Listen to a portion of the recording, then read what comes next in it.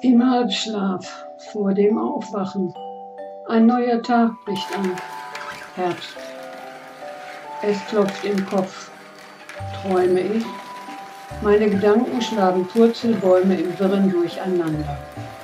Mein Bauch brummelt, Magen verweigert die Frühstückslust. Die müden und schweren Augen wollen sich nicht öffnen. Ächzend erheben sich die Rollläden und lassen graues Tageslicht ins Zimmer fallen.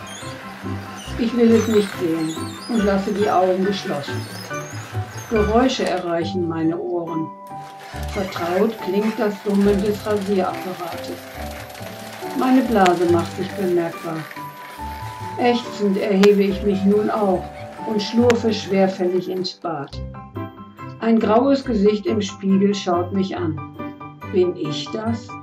Muss wohl so sein, denn mein Spiegelbild zieht Grimassen wie bei meiner Gesichtsgymnastik und grinst mich schließlich an. Na, bist du wach und wohlauf? Nee, ich strecke mir die Zunge raus. Zurück im Schlafzimmer guckt mein Bett mich verlockend an. Nein, der neue Tag hat begonnen und der Alltag ruft.